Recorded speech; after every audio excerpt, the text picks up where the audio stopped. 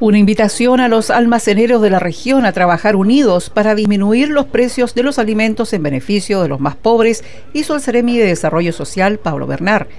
El objetivo prioritario de este llamado es para lograr el interés de los dueños de almacenes que puedan adquirir productos y abastecerse a precios más convenientes. Generalmente los negocios de barrio deben pagar a sus proveedores más dinero que los supermercados, solo por ser pequeños y comprar en menores cantidades.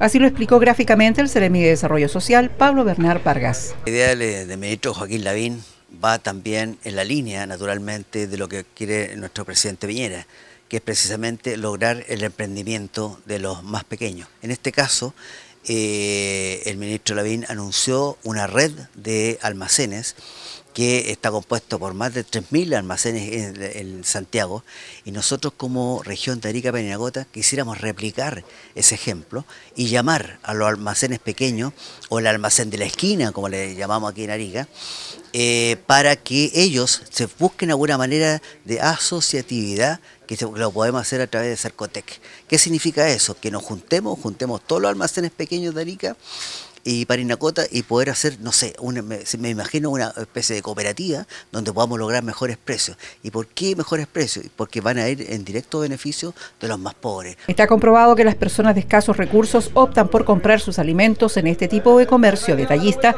debido a que compran por unidad y de forma diaria, tienen más cercanía con los locatarios y porque se evitan el gasto de inmovilización, entre otras cosas.